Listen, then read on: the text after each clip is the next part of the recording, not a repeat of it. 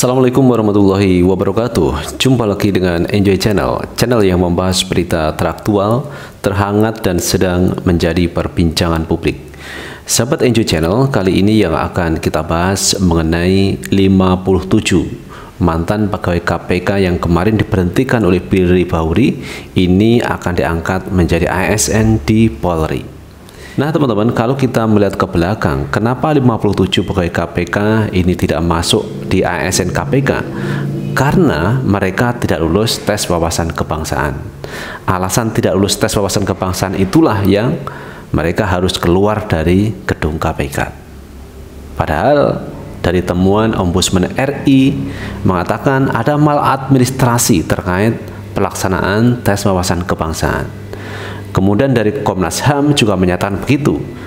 Ada pelanggaran terkait hak asasi manusia e, tes wawasan kebangsaan itu atau tes TBK. Jadi dua lembaga negara sudah mengatakan ada yang salah terkait tes wawasan kebangsaan yang menyebabkan 57 pegawai KPK ini tidak bisa diangkat menjadi ASN di KPK. Kemudian masalah ini tidak berhenti sampai di situ teman-teman. Novel Baswedan dan teman-teman ini berupaya melakukan protes, memberikan laporan ke sana kemari terkait posisinya yang diberhentikan oleh Fili Bauri. Namun Gayung pun bersambut. Usaha yang dilakukan oleh Novel Baswedan dan teman-teman ini mendapatkan respon yang positif dari Kapolri Listio Sigit Prabowo yang menginginkan 57 pegawai KPK itu diangkat menjadi ASN, menjadi pegawai negeri sipil di kepolisian. Dan diharapkan tentunya eh, setelah masuk di Polri ini diharapkan tetap bertugas dalam pemberantasan korupsi. Karena mereka-mereka seperti Pak Novel Baswedan ini punya rekam jejak yang luar biasa dalam penanganan korupsi. Mereka sudah ahli di bidangnya, penyidikan, penyelidikan, mereka juga melakukan pencegahan pendidikan terkait korupsi ini. Dan ini adalah kesempatan yang luar biasa diberikan oleh Kapolri Listio Sigit Prabowo supaya 57 pegawai KPK yang diberhentikan Firly masuk di ASN. Nah teman-teman untuk lebih jelasnya coba kita baca beritanya. Kita ambil berita dari Kumparan News teman-teman. Perekrutan novel, Baswedan dan kawan-kawan jadi ASN Polri, bukti pemecatan KPK tak benar. Jadi ini luar biasa teman-teman. Banyak pihak yang menyayangkan kenapa mereka dipecat. Hanya gara-gara tes TWK yang ini bermasalah. Kenapa bermasalah? Sesuai temuan dari Komnas HAM maupun temuan dari Ombudsman RI.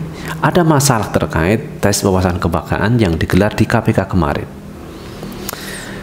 Peraturan Polri nomor 15 tahun 2021 tentang pengangkatan khusus 57 mantan pegawai KPK menjadi ASN Polri sudah terbit. Jadi peraturan Polri tentang pengangkatan ASN 57 pegawai KPK ini sudah ada teman-teman. Artinya pengangkatan para mantan pegawai KPK itu menjadi ASN Polri sudah selangkah lebih dekat. Peneliti Pukat UGM Zainur Rahman menilai dengan munculnya perpol tersebut semakin menegaskan bahwa pemecatan 57 pegawai KPK oleh Firly Bahuri dan kawan-kawan bermasalah.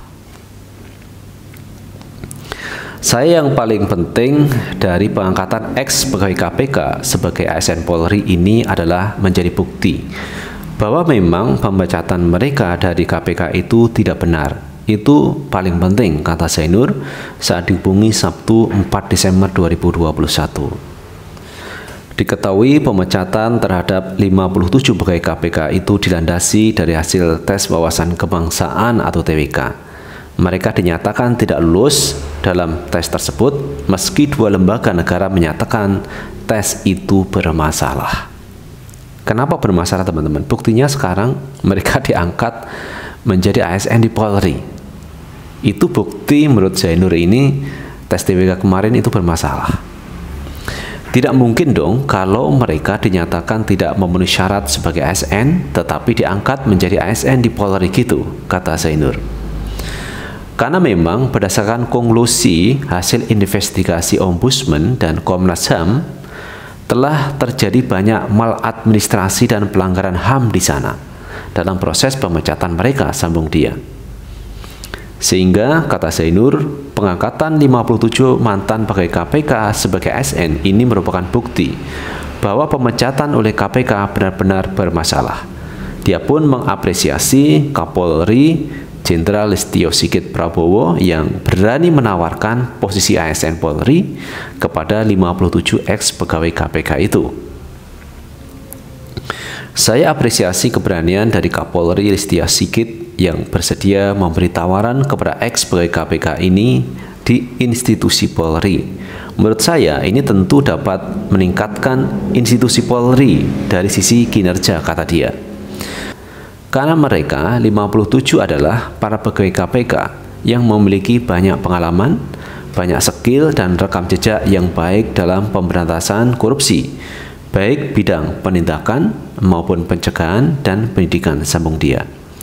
Dia pun berharap dengan keluarnya Perpol ini sosialisasi kepada 57 ek pegawai KPK bisa berjalan dengan baik, kemudian para mantan pegawai KPK itu akan diberi posisi yang strategis oleh Kapolri dalam pemberantasan korupsi oleh institusi kepolisian.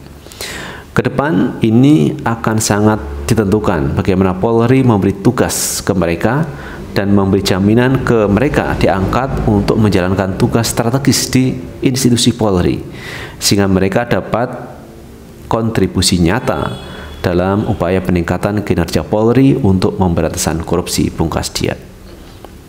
Itu teman-teman eh, analisa dari Zainur. Zainur ini adalah peneliti Pukat UGM yang menilai bahwa dengan diangkatnya 57 pegawai KPK oleh institusi Polri menunjukkan bahwa pemecatan kepada Novel Baswedan dan teman-teman itu bermasalah. Hmm, ini semakin kuat teman-teman analisa dari berbagai pihak terkait mendolimi Novel Baswedan dan teman-teman di KPK. Padahal kalau kita lihat kinerja Novel Baswedan dan teman-teman itu luar biasa. Integritas dalam pemberantasan korupsi tidak perlu diragukan lagi. Karena mereka mengabdi cukup lama di KPK.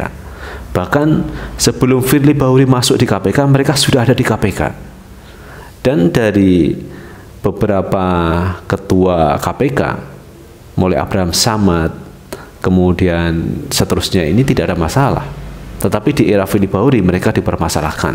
Alasannya tidak lulus tes wawasan kebangsaan. Bagaimana mereka kok bisa dikatakan tidak lulus? Ya karena sesuai dengan hasil TBK begitu tidak lulus.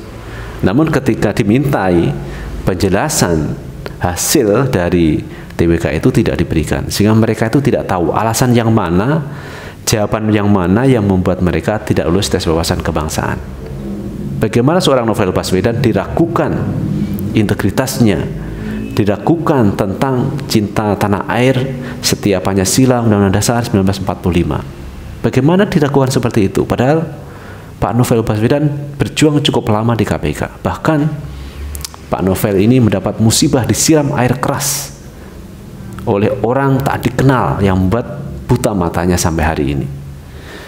Intinya, saya pikir teman-teman bahwa Pak Novel Baswedan ini tidak layak dipecat dari KPK dan harapan kita teman-teman namanya ASN ini kan bisa dipindah tugaskan. Harapan saya setelah mereka diangkat menjadi ASN di Polri, dimutasi ke KPK, dia bekerja lagi di KPK dalam pemberantasan korupsi. Karena sebenarnya mereka itu lebih nyaman di KPK. Karena KPK ini awalnya itu kan institusi yang independen, tidak di bawah dari uh, eh, ASN, tidak di bawah dari Menpan RB. Artinya lebih independen, tapi sekarang kan tidak independen karena mereka menjadi ASN. Tapi paling tidak mereka bisa dikembalikan lagi ke KPK ini luar biasa. Mereka bisa kerja maksimal lagi dalam pemberantasan korupsi. Itu teman-teman yang bisa kita bahas kali ini dan bagaimana menurut pendapat teman-teman sekalian tulis di kolom komentar karena komentar teman-teman akan sangat bermanfaat untuk yang lain. Sukses selalu. Assalamualaikum warahmatullahi wabarakatuh.